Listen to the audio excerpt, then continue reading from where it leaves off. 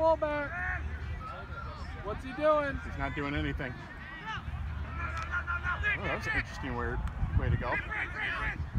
Yeah. Towards traffic.